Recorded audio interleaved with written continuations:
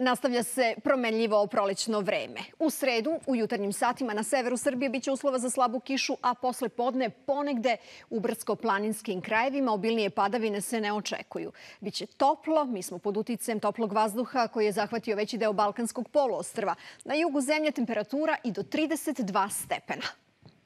1. junskog dana prema prognozi Hidrometeorološkog zavoda u Srbiji će biti promenljivo oblačno i malo toplije uz smenu sunčanih i oblačnih intervala. Ujutro i pre podne ponegde na severu, a posle podne u brdsko-planinskim predelima kratkotrina kiše ili pljuskovi.